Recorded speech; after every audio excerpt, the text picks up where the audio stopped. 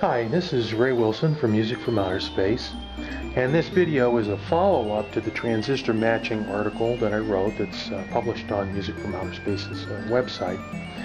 And I'm going to show you how now that you have one of these matched pairs, you've, you've built it into the little module that's glued together to the little piece of aluminum, and, uh, and it also has the temperature compensator on it. I'm going to show you how to calibrate the oscillator and the type of accuracy that you can get with your own hand-matched transistors.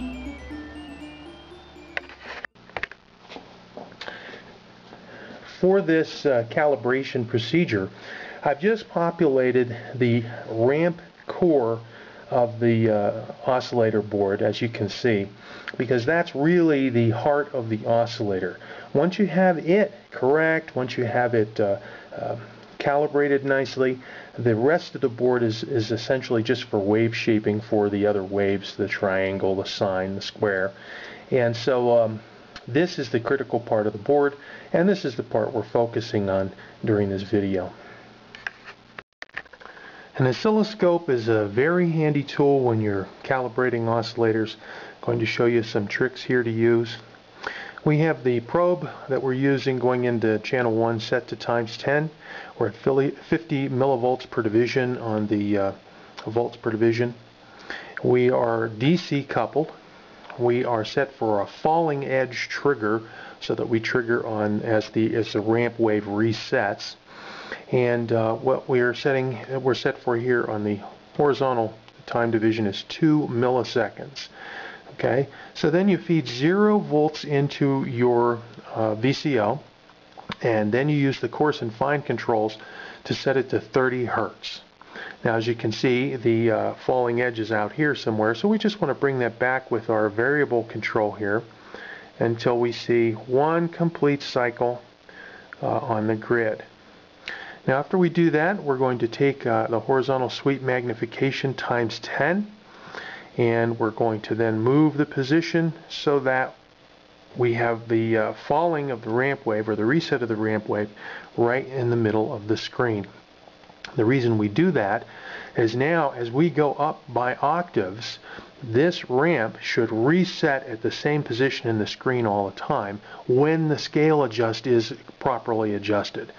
Otherwise, what's going to happen, I'm just going to use this to move it around to show you, is if it's sharp, we're going to be over here to the left. If it's flat, we're going to be over here to the right, you see.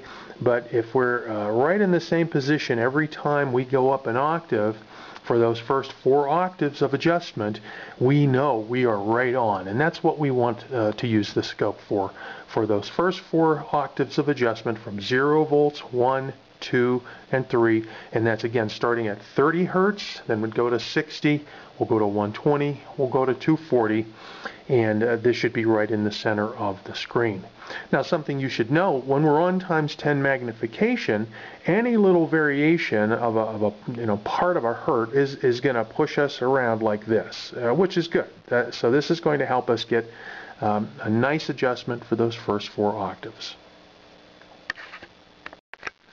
We're going to also need a frequency counter.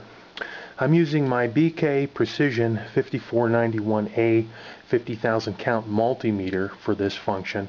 It has a frequency counter built into it I'm going to be powering the uh, circuitry with this ProTech triple DC power supply. I'm using it in the plus and minus 12 volt uh, setting right now. I'm using this little handheld meter uh, on the bench.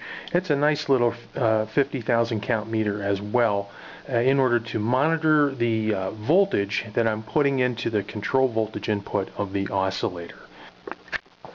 I have a little amplifier as well that I put the signal through as I'm going through the calibration procedure because you know your ears really are, are what the uh, end result is for. And um, you can really tell when you start to get the scale adjust to correct and you you're going uh, through the octaves. It's very helpful.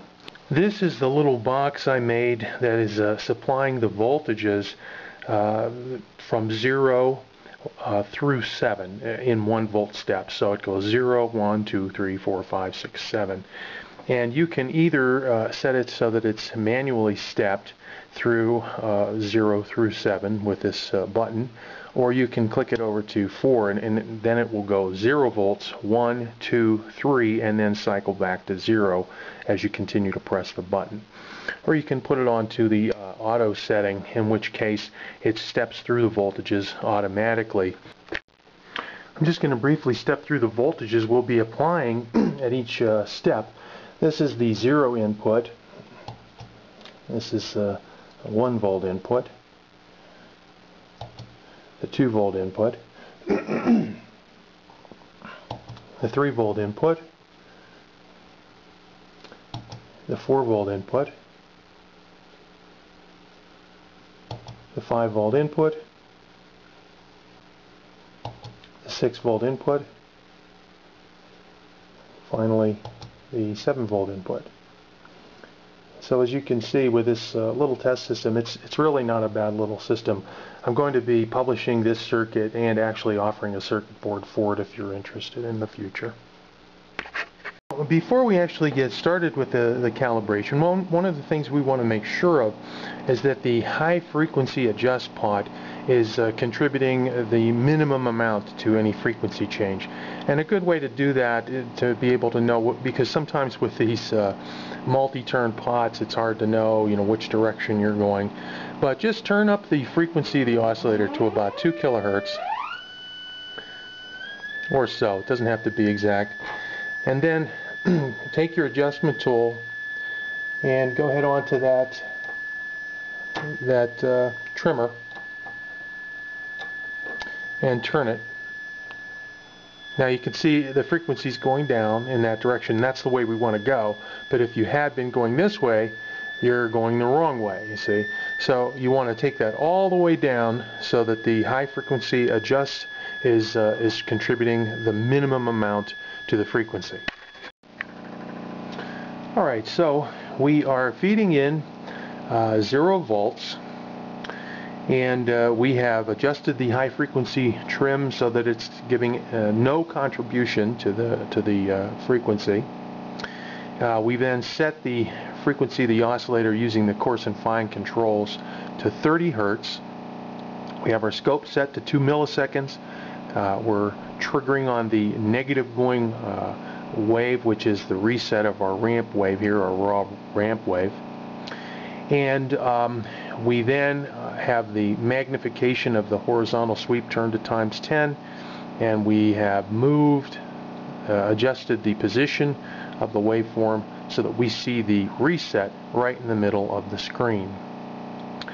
Now, what you're going to do, the goal here is as you start to apply 1 volt, 2 volts, uh, 3 volts, you're going to want to adjust the scale trimmer so that this waveform stays right in the middle of the screen, the, the falling portion of that waveform. Because that, what that's uh, showing you is that you have equal uh, increments of time, which is what we want.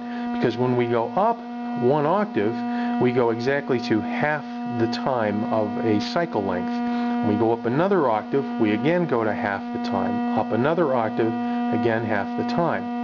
And so since the sweep is, is being triggered on the negative going edge uh, of the ramp as it resets, and uh, when we're down at the lower voltage, we see that we're, we're resetting right here. Well, if we go to twice the frequency, we should be resetting in exactly the same place, which is what we want. And, and so that's what you're going to do. Adjust the scale trimmer until this is what's happening for you. Okay?